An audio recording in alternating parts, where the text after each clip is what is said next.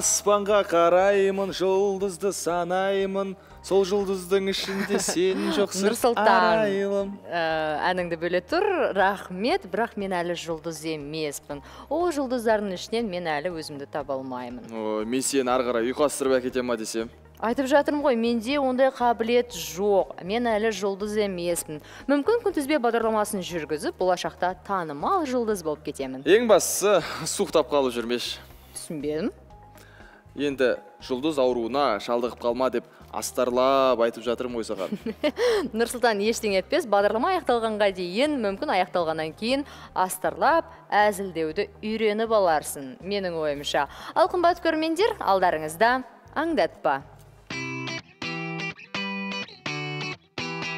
Әлемдегі ең үнемшіл ұлт кім? Біржан мен сарайдысына 143 жыл. Ғаламтор қызықтары. Баян есентаева енді мультфильм кейіпкері ме ең ашуланшақ мысық қайда тұрады? Қостанай ауасы.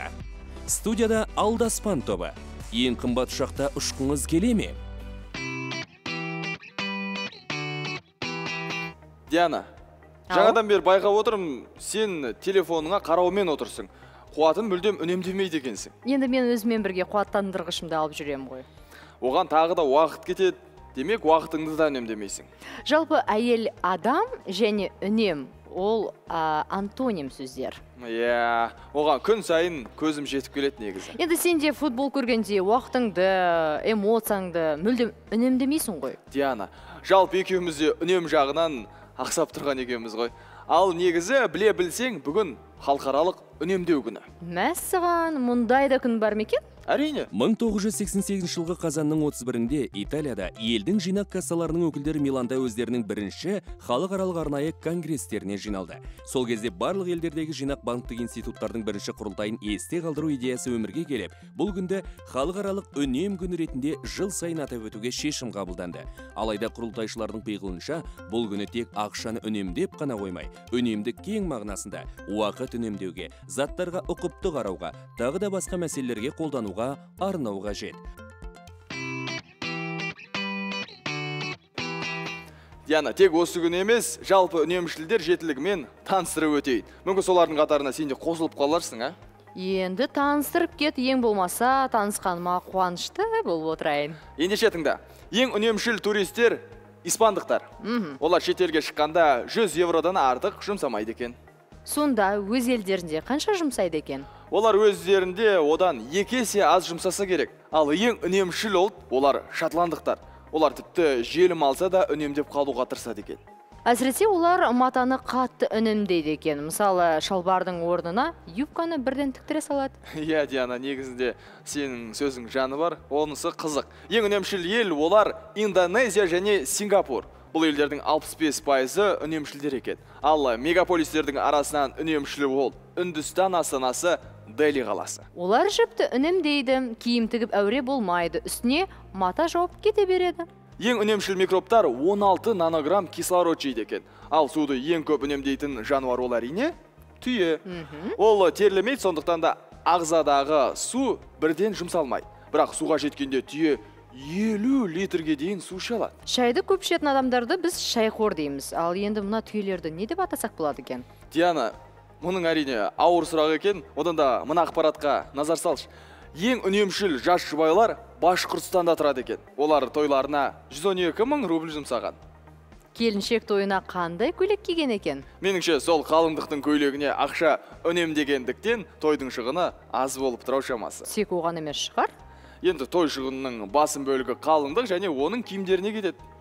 Сенімен айтысып отыратын уақытым жоқ басқа жаңалыққа кезек берсе қалай қарайсың? Ал менің айтысқым келіп отыр. Өйткені бүгін біржан мен сары айтысына 143 жыл. Мүмкін осы атаулы күнге кеңірек тоқталып кетерміз міндетті түрде. Ендеше баршамыз экранға мұқият назар аударайық. Біржан мен сарайдысы айтыс өнерінің озық үлгілерінің бірі. Айтыс 1895 жылы қазіргі алматы облысының қапал ақсу өңірінде біржан қожағұлұлы мен сара тастанбек қызы арасында өтеді. Бұл айтысты ең алғаш 1898 жылы қазанда қисса біржан сал менен сара қыздың айтысқан деген атпен жүсіпбек қожа шайх исламұлы жариялады. Кейін зайсаннан екі нұсқасы табылып біржан сал мен ақын сараның айтысқан деген атпен қазанда жеке кітап болып басылды. Айтыстың алғашқы нұсқасы 969 жол. Екінші нұсқасы 1080 жол. Әріп тәңірбергенұлы жазған тағы бір нұсқасы 1907 жылы жарық көрді. 1918 жылға дейін бұл үлгілер 8 рет кеңес өкімет тұсында 11 рет жарияланды. Сөйтіп ел ішіне жазбаша да ауыз екі тілде де таралып келді. Бұл айтыстың кең тараған соншалық айтыс негізіндегі қажым жұмалиевтің либреттосы бойынша 1946 жылы мұқан төлебаев біржан сара операсын жазды. Диана осы күндері ғаламторда пайда болған папа купил доче лексус ролигі қолданушылардың арасында үлкен рейтингке ие болып жатыр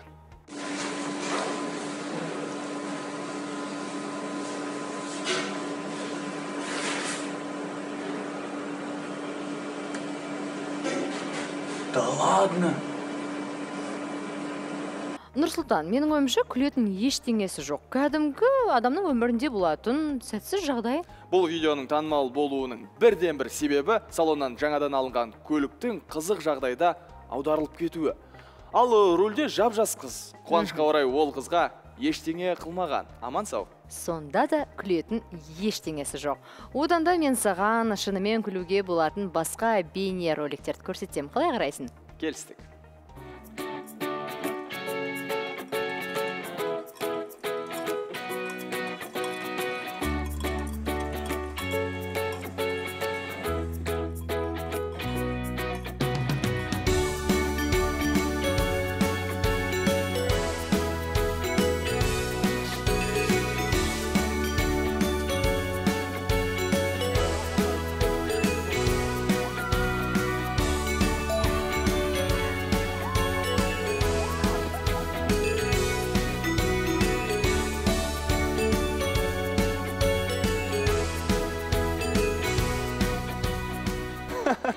иә шынымен де көңілім көтеріліп қалды. Жалпы интернет тақырыбына бекер ойыспадық жақында комод нүкте kz сайты бір топ қазақстан жұлдыздарының мультфильм кейіпкерлерімен ұқсастығын байқапты. Мынауың өте қызықты жаңалық екен. Бүгінгі бағдарламамыз ә, көңілді өтейін деп тұрған сияқты. Ендеше көңіл көтеруді жалғастырайық. Сонымен бірінші актер санжар мәдиев люди икстегі росомаха мына ұқсастықпен санжар люди икстің фильміне дублер болып түссе де болады екен. Екінші мульткейіпкер рапунцельдегі матушка готель. Ол өзін мақпал исабековаға ұқсатыпты. Негізі мақпалдың қазіргі бейнесі рапунцельдің өзіне ұқсап бара жатыр ғой. Үшінші әли оқапов. Подводная братвадағы оскардан аумай қалыпты. Оскар ол мультфильмде ән айтпай ма? Тексеріп көру керек. Мүмкін әндерде ұқсайтын шығар. Келесі кейіпкер алладиннің ғашығы айнұр ілиясова. Ой жасмин яғни айнұр ілиясова. Ал айнұр шынымен де аумайды екен. Бесінші мульткейіпкер әнші луина оның кейіпкері геркулестегі мэг. Луинаның сахналық образына көбірек ұқсайды екен. Алтыншы қазақстандағы ең үлкен актер фара фархат абдраимов. Ол мулан мультфильмдегі чен поға ұқсап қалыпты. Былай алып қарасақ бәріміздің түріміз мультфильм болып шығады және бұл тізімді аяқтайтын баян есентаева және мулан екідегі мэй ханшайым. Есентаева ханым келесі фильмде майра итаяқованы емес мынау мэй ханшайымды таңдаса болады екен. Ең ашуланшақ мысық қайда тұрады? Қостанай ауасы. Студияда алдаспан тобы ең қымбат ұшақта ұшқыңыз келе ме? Нұрсұлтан сен осы жануарларда эмоция мимика бар екеніне сенесің бе? Енді қалай айтсам екен? Елу де елу. Ә, мен сенен ә, көбейту кестесін сұрап тұрғаным жоқ. Ә, жануарлардың эмоция мимикасы бар ма деп тұрмын? Диана екі ұшты жауап айтуға болады ғой. Кейбірінде бар кейбірінде жоқ. Байқалмайды ендеше мен сені бір керемет мысықпен таныстырайын. Құрбыларың жоқ па еді? Мысықпен танысқым келіп тұрған шамалы диана. Сен ол мысықты көргенде менің құрбыларыммен мүлдем танысқың келмей кетеді. Қайсысы қорқынышты соны айтшы маған. Құдай ау оны не істейсің? Одан да мынау мысықпен танысып алсайшы. Оның есімі гарфи. Ол түркияда тұрады. Негізі өте көңілді мейірімді мысық. Тек түрі ашулы көрінеді. Сондықтан да оны ең ашулы мысық деп атап жүр. Диана кейде саған ұқсап кетеді екен. Яғни сен ашуланған кезде осы гарфи сияқты болып кетесің. Нұрсұлтан сен осылай бірдеңе айтып тиісіп қалуың керек иә меніңше бұл мысық бірдеңені жасырын ұйымдастырып жүрген сияқты. Ай осы мысықтың әлемді жаулап алу операциясы дайын ау. Ең дұрысы гарфиді ашуландырмау керек. Мысалы Әрине. мен сияқты. Әрине. Көңілді мейірімді түрі мынау болса ашуланғаны қандай болады екен? Қазір жаңалықтың барлығы ғаламторда. Ұйқыға кеткенше аңдығанымыз интернет ояна сала қайтадан телефонға жабысамыз. Жаңалықтың барлығы өте қызық. Сонда сен қандай жаңалық оқып жүрсің? Мысалы қазинформ сайтының айтуынша қостанайда ауа сатыла бастапты. Бір қалбыры 450-500 теңге екен. Өзің ойлап қарашы. Қалбырдың сыртындағы жазуға қарағанда бұнда 35 пайыз жағалаудың ауасы. Дәл осындай көлемде орталық саябақтың ауасы қалғаны қарағайлы орманнан алынған деген сияқты. Ауаның жарамдылық мерзімі 100 жыл. Нұрсұлтан негізі бұл оқиға алматыда болса ауасына қарап шымкентте болса адамына қарап сенуші едік. Бірақ қостанайда орын алғаны қызық екен. Жарайды. Сатылып жатыр екен бірақ оны қалай пайдалануға болады?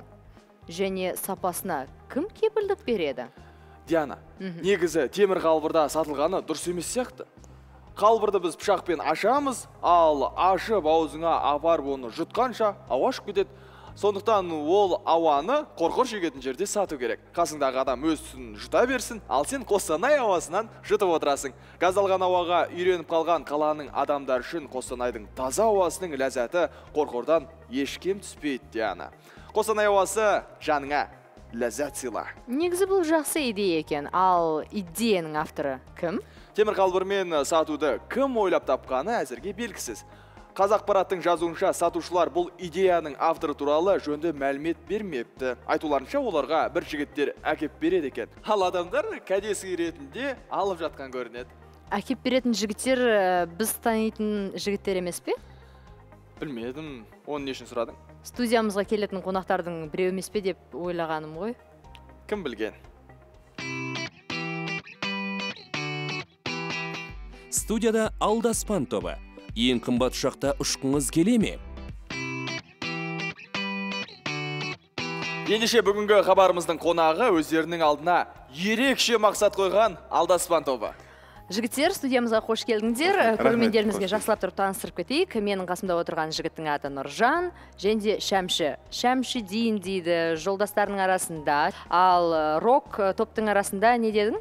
Шам шама. Шама дейді екен және айта кету керек бақсы балгерлердің арасында маған маған айтты шаман жігіттер көңіл күйлерің қалай? Жақсы. Шүкір. Керемет. Негізі мен мынау аспапты жақсы танимын.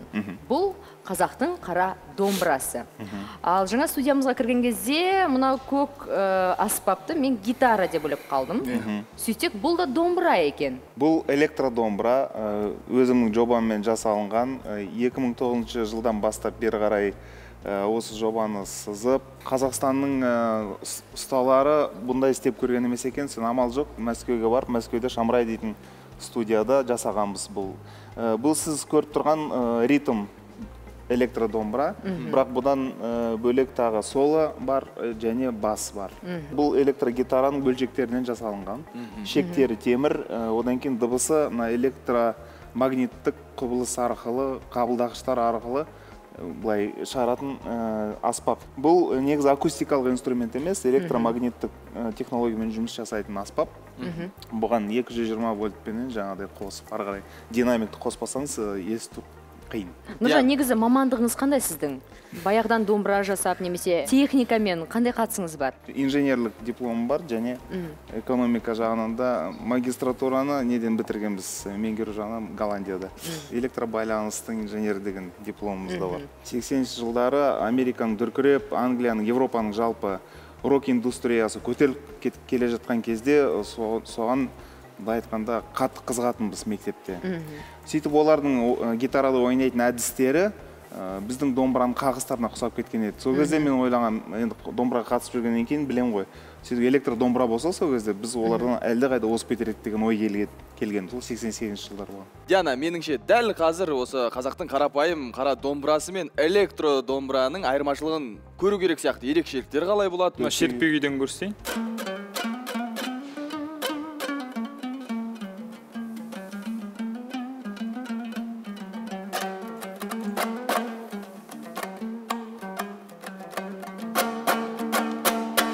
Шертпе дәстүрінде ендігі кезекте төкпе дәстүріне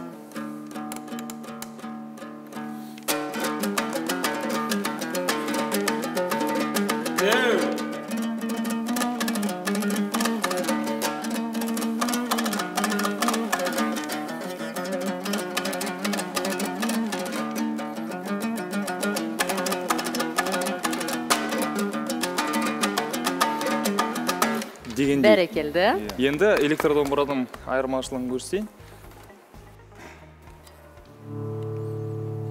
Жаңағы ойнағанымды. Шертпе иә.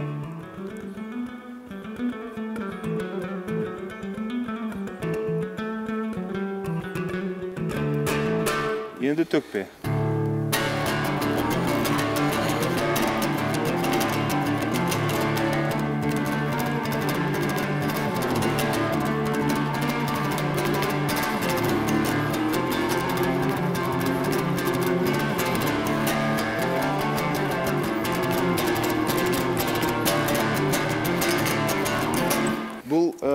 Сіз естігеніңіз ә, негізі домбыраның үнін өзгертпей бір көп болса бір он пайыз өзгерген шығар теміршек болғаннан кейін. Жалпы бұл домбыраны шығарудың себебін айтып кетейік.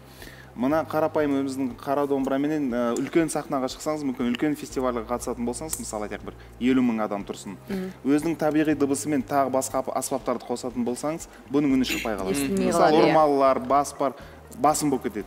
Сол себептен 3D ойнау үшін мына шеберліктерін көрсету үшін осы домбыраны жасауға тура келді. Тағы бір айтып кететін нәрсе қазір біз дисторшн дейтін ә, дыбысты өзгертетін құралды қосамыз со- сонымен бірге ойнаймыз. Негізі роктың негізін құрайтын сол дыбыс. Концерт осылай басталады иә. көре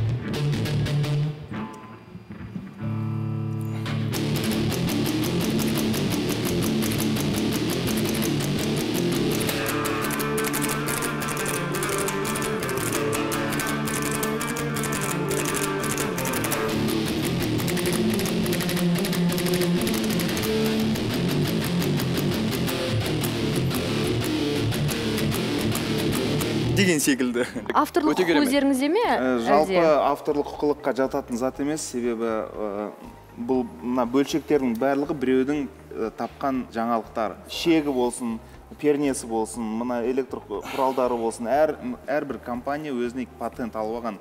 Бұны қосып істеген зат патентке жатпайды негізі. Яғни әр адам осындай жасаймын десе жасай берсін. Негізі бізге оны патент құрып жаңағы одан ақша табу мәселе емес. Мәселе осы біздің домбыраны ұмытпаса екен жастар. Одан кейін шетелдік музыкаға көшіп кетпесе екен. Сол себептен сол бағытта жұмыс жасап жүрген топпыз. Бәрекелді. Электро домбыра деп жатырмыз. Басқа аспаптарды топқа қосу ойда бар ма? Мысалға электроқобыз негізі бізде продакшн студия бар. Яғни ол студияда бізде қазір үш топ бар. Алдаспан ә, бүкіл ә, топтың негізі құрайтын электродомбыралар ритм соло бас. Ә, екінші шарапат дейтін тобымыз бар. Тұсаукесер осы көктемде өткен. Ә, оның біреусі ә, соло домбыраның орнына электро жетіген шығарамыз оны да менің жобам. Үшінші топ бар байдана дейтін. Бізге туыс инструмент бар балалайка дейтін. Ә, сол үш электробалайканың не- негізін құрайтын жаңағыдай сондай топ бар. Ол жігіттер де бізбен бірге жұмыс жасайды. Ә, ал біздің топқа басқадай инструмент қосқымыз келмейді. Жаңа инструмент шығатын болса оны басқа бір топ ашылатын шығар деген үміт бар. Негізі транспорттың қай түрімен жиі қолданасыңдар? Кәдімгі жеңіл көлік қой. Өздерің автокөліктерің Иә. автобуспен жүрмейсіз. Жоқ жүреді жігіттер кейбір кезде. Өйткені екі аяқтымен жүреміз нұржан аға төрт Иә, аяқтымен жүреді біз екі аяқтымен жүреміз. Велосипедтер де бар мысалы. Велосипед ролик. Қазіргі кездегі ең бір қолданысқа еніп жатқан европаша көзқарас деген сияқты. Иә. Велосипед велосипедпен қолданамыз. пайдалы. Денсаулық Ұшақпен де жиі ұшасыздар. иә. Негізі бұл сұрақты жайдан жай қойған жоқпыз. Қазір бәріміз бірге әлемдегі ең қымбат ұшақпен танысамыз. Экранға бірге назар аударайық. 2008 жылы Сингапур әуесіздігі ең жайлы, ең қымбат қызмет көрсететін класс сүйт ұшу түрін іске қосты. Airbus A380 ұшағында жылжымалы есікпен екі адамдық жатын бөлмеден тұратын аспандағы апартаменттер қызметін ұсынды. Бұл сапарыңызда сіз ең дәмді тағамдармен Дом Периньон шампанын іше аласыз және сіздің жеке борт серігіңіз болады. Сүйт классының қызметін пайдаланғыңыз келе ме? Тек қана бір нюанс бар. Сингапурден Нью-Йоркке дейінгі билет бағасы бар болғаны 18400 ақш доллары.